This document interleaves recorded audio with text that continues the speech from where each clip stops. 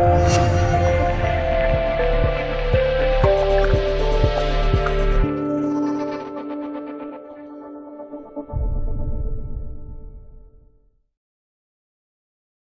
零一八日本赛昨天落下帷幕，国羽锦混双雅思夺冠，双塔和樊晨组合均不敌对手获亚军。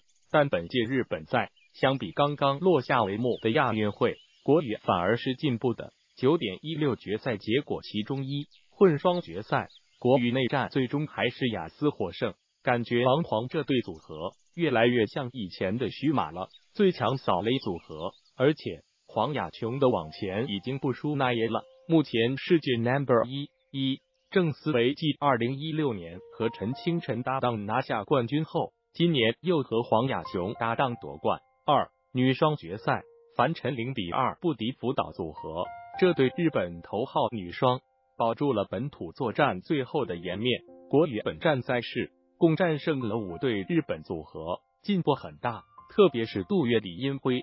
汤金华与小韩如果能固定搭配，早晚会有成绩的。二月一日，遗憾的是，曾经国羽女双在这站取得过七连冠，现在已连续三年未尝冠军滋味。三双塔组合决赛表现低迷，似乎不在状态。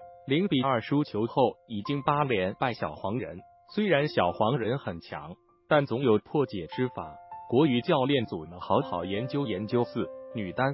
均为世锦赛冠军的马林和奥原，最终又是马林笑到最后。似乎小戴缺席的赛事里，马林总能超水平发挥，而他也成功卫冕了日本赛的女单冠军。之前一位成功卫冕的是国羽的王怡涵，二零零八和二零零九赛季。五桃田本次赛事一局卫士，均以二比零战胜对手，分别战胜了安东森、杰姆克。林丹、安塞龙和科希特，无疑，他也成为日本赛创办以来首位夺得冠军的日本球员，确实要恭喜一下，很厉害。盘点一，国羽最稳的项目还是混双，雅思和王皇再次会师决赛。二，女单确实进步很大，陈雨菲、陈小新、高仿杰，还有何冰娇，经过这个赛季的洗礼，虽然和顶级高手仍有差距，但差距在缩小。本站更是淘汰了戴资颖、辛德胡、山口茜等好手，信心上得到很大提升。小花们继续努力。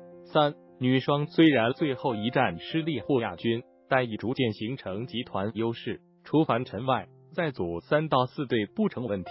教练组呢需要好好斟酌。四双塔虽然也失利，但其他小将的崛起值得欣慰。小将何锦婷弹强一比二不敌小黄人。已经很不容易，继续加油！五最严重的还是男单，光靠石头一人肯定不行。不知道毕松的伤养到啥程度了，这位小哥还是挺有潜力的。